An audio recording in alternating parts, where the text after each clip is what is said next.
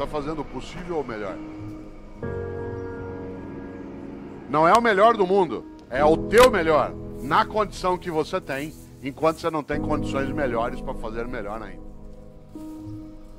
Pergunto de novo, mas não responda. Tá fazendo o possível ou o melhor?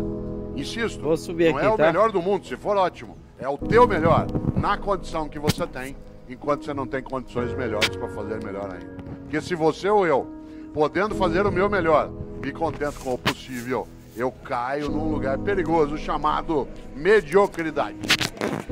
Uma pessoa medíocre é aquela que é morna, que está na média, que não é quente nem fria. Lembra quando você chegava da escola que tinha boletim escrito, o pai olhava seis em português, cinco e meio em matemática, quatro em história. Pai, deu para passar. Medíocre. Deixa, eu toco minha vida. Isso é mediocridade.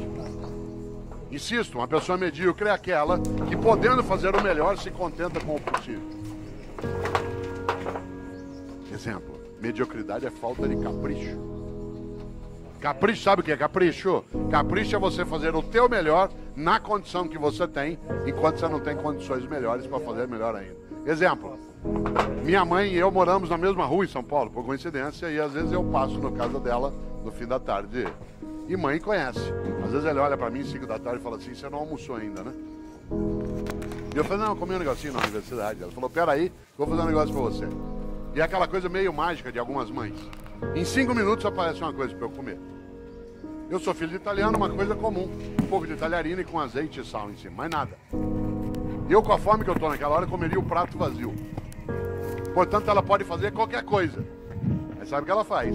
Faz um macarrão com azeite e sal. Mas antes de servir, pega um tomatinho cereja, corta em quatro. Em cima. Capricho. Capricho é você fazer o teu melhor na condição que você tem, enquanto você não tem condições melhores para fazer Passou. melhor. Graças a Deus. Eu, no Paraná, quantas vezes, caipira, ia até a roça visitar a casa de alguém, quem aqui conhece sabe, na roça, aquela casa que a gente chama de pau a pique, casa de barro com madeira trançada, entrava na